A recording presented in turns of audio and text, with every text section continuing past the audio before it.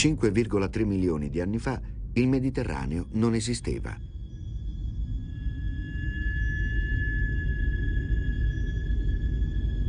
Quello che ora è un mare era allora un vasto bacino asciutto, disseminato da strani laghi di cristalli di sale.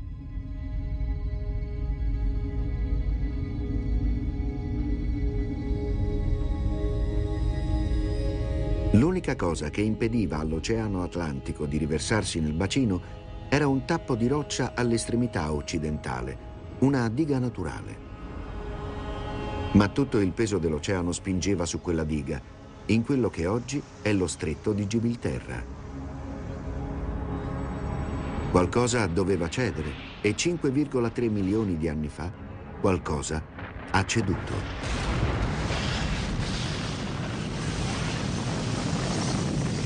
Fu la più grande cascata nella storia della Terra.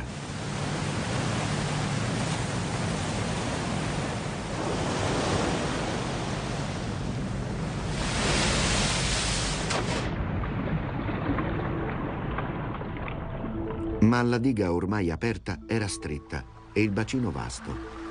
Ci vollero circa 4.000 anni perché il Mediterraneo si riempisse. E quando lo fece, si riempì anche di vita. Delfini, tartarughe marine, razze e squali. Ed essendo disseminato di isole, questo è un mare con molte coste. Possiamo capirne il perché andando indietro nel tempo, molto tempo prima che la cascata formasse questo mare e prima ancora che si formasse lo stesso bacino del Mediterraneo. 250 milioni di anni fa, tutte le terre del nostro pianeta erano unite e formavano un unico grande continente, la Pangea.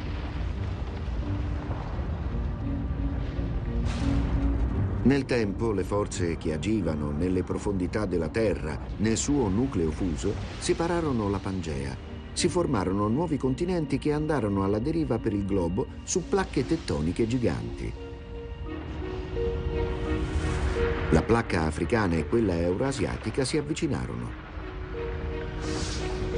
Dalla loro collisione si formarono delle montagne su quello che sarebbe stato il fondale marino del Mediterraneo. Dopo la formazione del mare, solo le cime di queste montagne restarono emerse, ovvero le isole. Ce ne sono a centinaia tra quelle che oggi conosciamo come Grecia e Turchia. Le isole Egee.